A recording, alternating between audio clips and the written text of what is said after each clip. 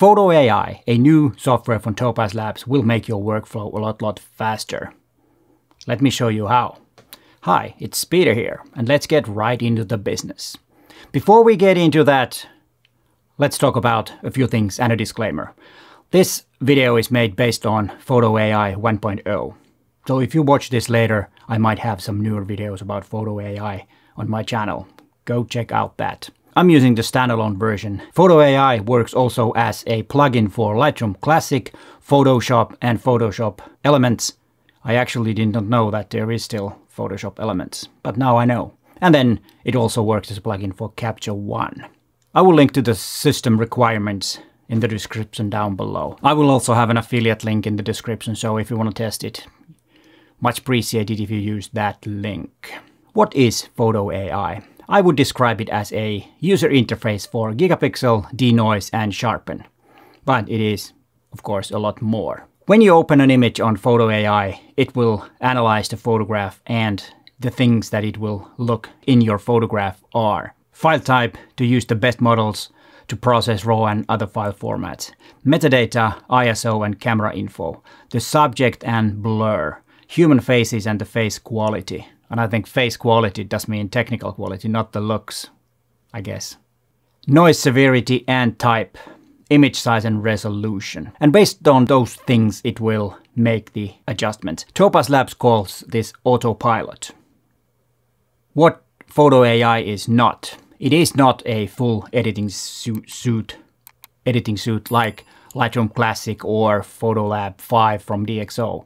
So you will need additional software if you want to do more than just uh, upgrade, uh, upgrade, upscale your image, uh, reduce noise, or sharpen your image. If you want to do anything else or something else, you will need some other editing software too. I do not want AI to edit my photos. I want to do it myself. Yeah, this is probably something that you will say, or some of you will, and of course, that's also what I think. I want to do the editing myself. But then we have to think what Photo AI actually is. And what Topaz Lab says on their website. And I quote, AI is exceptionally good at improving image quality, but bad at knowing what to do with the image. And I think that says a lot.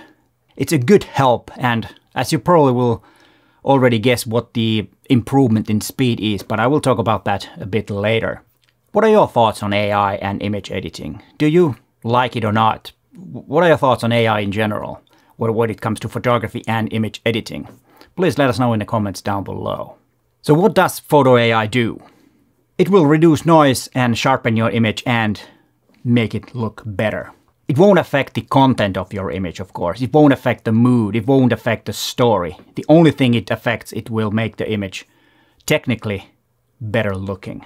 And we have to remember that these things are done only if needed. The photo AI will analyze the image and do the adjustment accordingly. Adjust yourself. Of course, you can adjust the result that Topaz uh, Photo AI gives you. It's a starting point. But in many cases, I found that it is enough. It does very good job. I have not tested it against, for example, DxO Photolab 5 and its camera modules and all other things that it does to your image. But what I've learned using Photo AI a few weeks, it will make very, very good results. And in most cases, I'm totally happy with the results like it is. It is good. How it speeds your workflow. Before, you needed three different softwares, Gigapixel AI, Denoise AI, and Sharpen AI to do the things that Photo AI can do, do automatically. So the only thing you need to do is open your image in Photo AI either in the standalone version or use it as a plugin. Let Photo AI do its magic and you're good to go. And like I said, you can tweak those settings that it the autopilot made.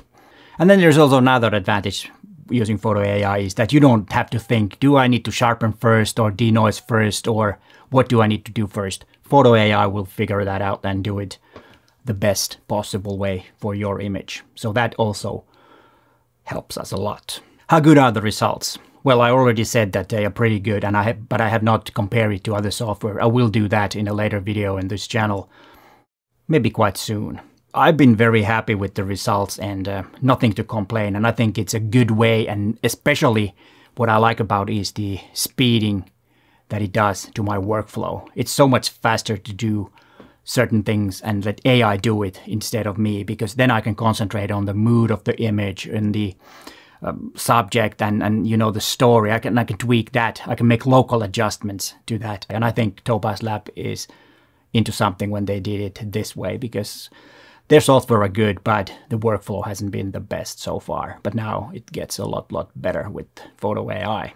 If you want to test or buy Photo AI, first thing you need to do is to log into your Topaz account if you have already some Topaz Labs software and check the price for you. And most likely you still can get it for free if you have Gigapixel, Sharpen and Denoise bundle. Then you can get it for free. But check that out. That's not something that I'm totally sure because I got it that way before the official launch. I could test it before.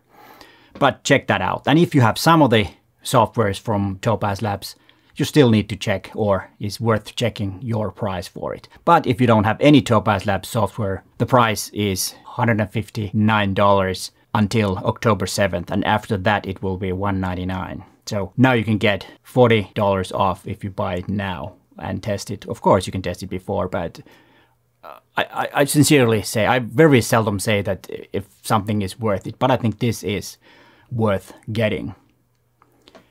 And there is an affiliate link in the description if you want to test and buy it. If you use that link, I do get a small commission, but you do not pay any extra. So it's a win-win situation and you support my channel, my free content, which is much appreciated. And I do have a playlist here where there's some more videos about Topaz Labs software, which you might want to check out because there are some tutorials and more in-depth things about Denoise, Sharpen AI, and Gigapixel. You might want to watch that next. But hey, thanks for watching and bye for now.